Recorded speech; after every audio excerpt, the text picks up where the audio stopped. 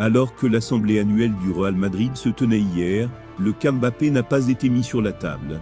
Dimanche, Florentino Pérez s'exprimait devant les sociaux du Real Madrid, l'occasion d'aborder plein de sujets d'actualité qui passionnent ou tracassent les fans. Mais cette fois dimanche, c'est surtout de la Super League et de la réforme de la Ligue des Champions dont il a été question. Le président madrilène a ainsi défendu ce projet de compétition élitiste entre cadors européens, adressant au passage un petit taquet à Nasser Al-Khelaifi, président du PSG, et de l'ECA. Nasser Al-Khelaifi a dit que le Real Madrid poussait pour la Super League parce qu'il avait peur de la concurrence.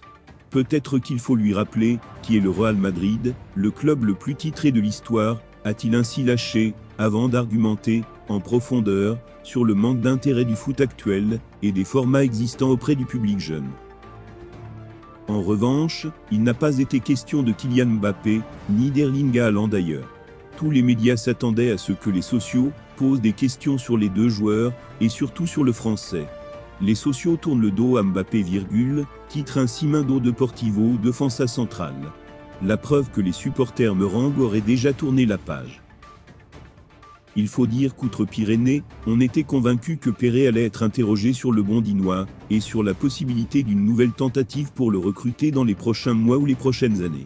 De même pour le Norvégien, à un degré moindre, les sociaux madrilènes en ont-ils eu finalement marre de l'attaquant français?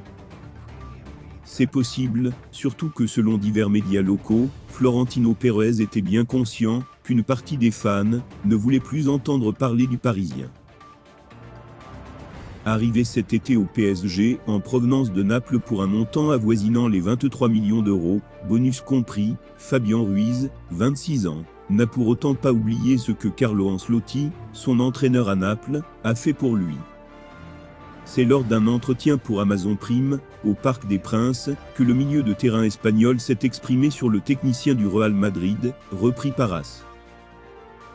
J'ai mis un poste quand il a été licencié, parce qu'il a parié sur moi, qui avait 22 ans, et venait du Bétis.